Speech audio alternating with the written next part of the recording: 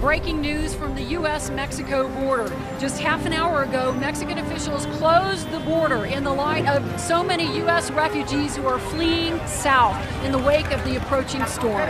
These people came here in anticipation of crossing into Mexico.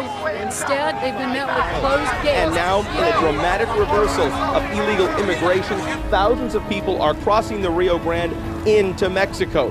The scene that's unfolding here behind me is one of desperation and frustration. People have abandoned their cars, grabbed their belongings, and they are wading across the river illegally into Mexico. Here it is. This fireplace probably hasn't been used in about 100 years.